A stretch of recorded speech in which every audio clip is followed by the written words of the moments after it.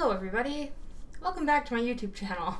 It has been nearly five months since I uploaded a video. I went back to school this last semester and I really wanted to dial it in and focus on getting my grades up, so I didn't make any time for YouTube. However, I did make some time to read. So that's what this video is. It's actually New Year's Eve right now. It's about 5:14 p.m. and I'm calling it for the year. And seeing as I won't be able to finish another book before the end of this evening, it's time to do my wrap-ups for the year of 2019. And today, I want to talk about my top 10 best books that I read during 2019, and there's also one honorable mention. It has been a long year. I read 60 books, and so much has happened in my personal life and in the world since then. So it's interesting and fun to look back 365 days ago to what I thought about the books I read then. Out of the 60 books that I read, about half of them were new books for me. I like to reread my old favorites Twilight, Harry Potter, Ender's Game. Those get read every year. but these books are books that I had not read before. I finally got around to listening to the audiobooks of four very famous books. I had originally attempted to read these too young. I got them as a book set and it was still just a little too heavy, but I found the audiobooks. It was smooth sailing from there. I read The Hobbit, The Fellowship of the Ring, The Two Towers, and The Return of the King. I wouldn't say I read them. I listened to the audiobooks. I can't remember who the narrator is. I've mentioned it in previous videos. He was amazing and he really brought them to life for me. I will probably listen to them again soon. I also had watched all the movies again this year. It's just classic. I love the world building and the characters. It was excellent. I'm really glad I got to these this year. The next book I have also previously mentioned in one of my videos. I read this book on a road trip across the country, moving my in laws. The Way I Used to Be by Amber Smith. This book was a recommendation from Emma Books here on YouTube.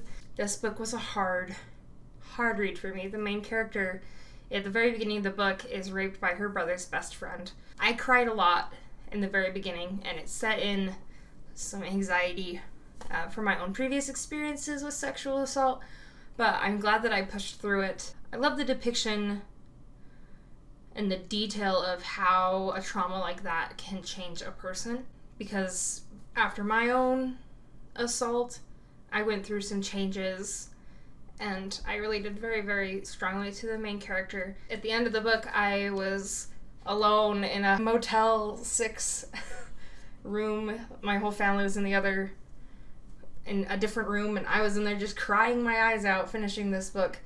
But I loved it. I gave it 5 out of 5 stars, and I'm pretty sure that Amber Smith responded on my Instagram post about this book, so that's also really cool. I will put a trigger warning on that book for rape and drug use and alcohol.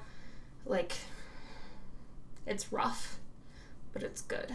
When people have been asking me this year what is the best book that I've read recently, or what is, you know, the best book that I read this year, this book. Oh, I am obsessed with this book. Before She Knew Him by Peter Swanson. This was part of my Book of the Month subscription that I had for a little while and then canceled. This is like a murder mystery, psychological thriller. It was my first dip into that genre at all, and I couldn't put it down. It kind of gave me like like at night I would have to watch like a puppy video or something to help calm the anxiety because it was so vivid. The details were so good. There's two neighbors. Right at the beginning you know who the murderer is, but you're inside his head and then you're inside the neighbor's head who knows that he what he did and he knows that she knows that he knows that he did it. it gets really like creepy and then it escalates and I loved this book so much. If you haven't read it, I highly recommend it. I can't find it anywhere. Like in bookstores, I've looked in Barnes and Noble, in Target, Walmart, you know, where you buy books and I can't find this anywhere, so I'm hoping this is available on Amazon. You can also follow Peter Swanson's Instagram, which I do. I got a lot of use out of my Kindle right at the very beginning of the year, and then I canceled my Kindle Unlimited. For most of the year, I wasn't using my Kindle at all.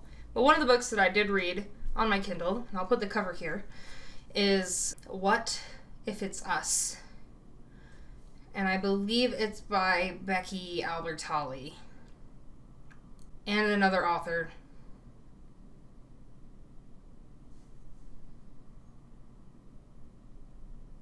Whatever, the cover's here. by these two people. And it is the cutest gay teen romantic fiction I have ever read. I have recommended it to everybody. I have one of my friends, one of my previous coworkers, who has read it or listened to it several times, and he loves it. It's about two boys who just happen to have a chance meeting in a post office in New York City. They don't exchange any contact information and then they go their separate ways. And it goes through how each of them sets about finding the other and how they reconnect and how their relationship goes. And it's so cute. it's everything. I love YA romance anyway. Ooh. You need to read What If It's Us.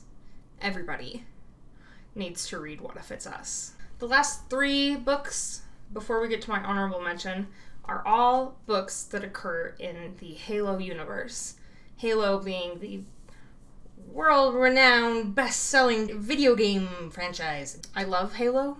I have loved Halo since I was a child. I love the books. If you look here, you can see I have we now own every single book that has been published uh, for the Halo series. I have a Halo tattoo. Like I love Halo. So two of the three Halo books that I read are actually part of the same sub-series within the series, and that is New Blood by Matt Forbeck and Bad Blood by Matt Forbeck. This follows Buck, who is an ODST in Halo 3. New Blood happens after Halo 3, while Master Chief is missing and floating in space, asleep. And it follows Buck and his team of orbital drop shock troopers, ODSTs, called the Alpha 9. There is action and suspense and betrayal. I kind of knew what was going to happen. My husband kind of warned me, but it was still kind of shocking at the end. Um, and then it follows followed by Bad Blood.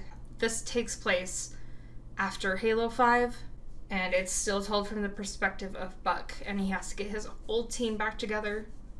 In Halo 5, he teams up with Team Osiris, and here he has to get back with the Alpha 9 team to find some rebels and some insurrectionists. I really enjoyed these. I read them at work and had grown 45 year old men asking me about them. the last Halo book that I really enjoyed this year Halo Silent Storm, a Master Chief story by Troy Denning. I love this. This is following the Master Chief. Before he becomes the Master Chief, he's 15 when this story happens. It goes through Operation Silent Storm and what he goes through how he meets Sergeant Johnson. These words mean nothing to people who haven't played Halo, so I apologize for that, but if you have played Halo or know the story, you know what I'm talking about.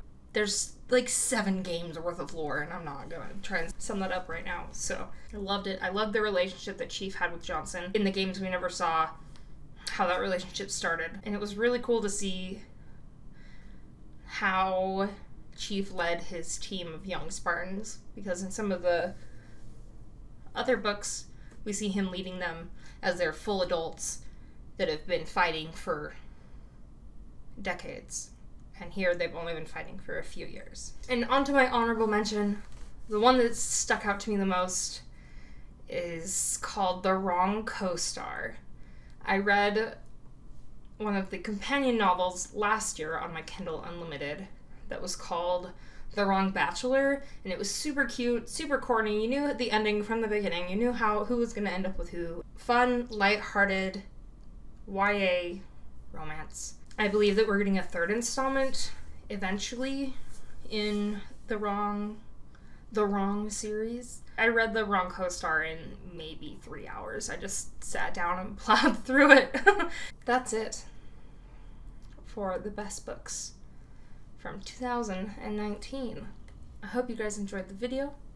In the comments down below, let me know your favorite book that you read this year. If you read any of the ones that I read, I also would like to hear that. We can discuss. I do really want to get back into making more YouTube videos. I love to talk about my books and my projects. So here's hoping that I can actually get my act together and post videos regularly again. Thank you so much for watching. What is this? Uh, thank you so much for watching, and I will catch you guys in the next one. Bye!